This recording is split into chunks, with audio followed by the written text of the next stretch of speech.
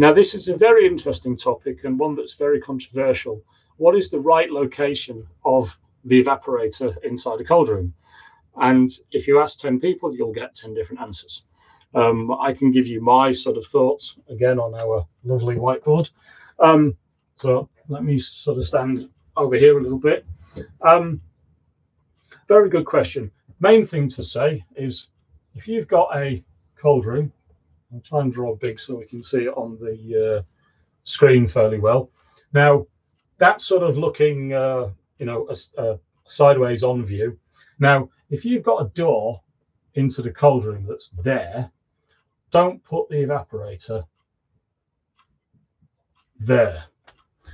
Reason being, as soon as we open that door, all the all the warm, moist air floods in through the open door, straight onto the evaporator, uh, and that does two things. A, it is heat load, but also it's moisture.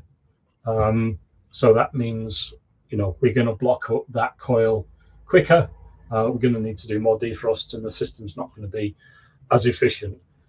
Best place, single cold room,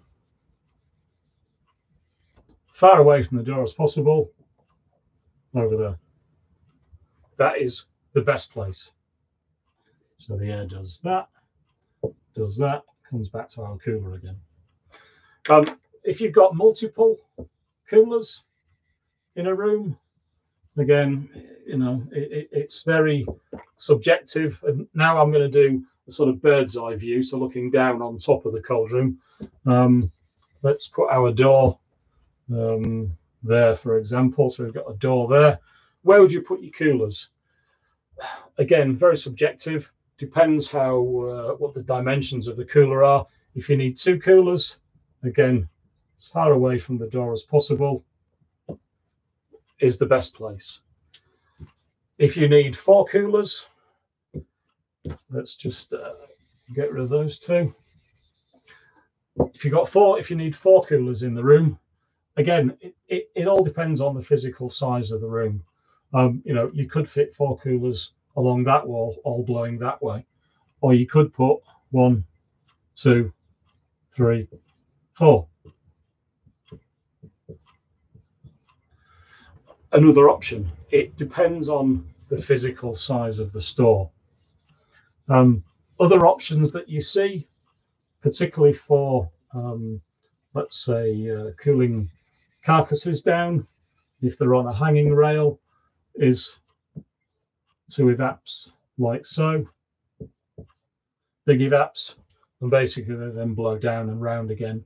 Um, another option. It's a very emotive subject the main thing to say is keep them as far away from the doors as possible. Um, is would be my sort of advice. Some people, um, I know some of the uh, let's say uh, older um, generation, you know, they might want to put a cooler there, cooler there, cooler there, cooler there. I've seen all sorts of, um, you know, locations of the coolers. Uh, main thing to say is just keep them as far away from the door as possible. So we minimize that uh, heat load and moisture, more importantly, being sucked up onto the back of the cold room. Um, just while we're on that subject, because it does that there's quite a lot of questions um, on this. If I don't know, for example, because of the way the the cold room works, and now we're looking side on at the room. So we've got our um, we've got our door here and our, you know, let's do a stick man, our person there going through the door. If the only place that you can put a cooler is there, because I don't know the shape of the cold room or the steel work or whatever, best thing to do then is build an ante room or an airlock. Door there, door there, and then with good door control, open that one, keep that one closed, go into there, then open that one, and it minimizes the amount of moist air that we're getting sucked up onto the back of the cooler. It, it's it's all about thinking, um, I use the word a lot about, is that moisture that we're going to suck up on onto the back of that cooler.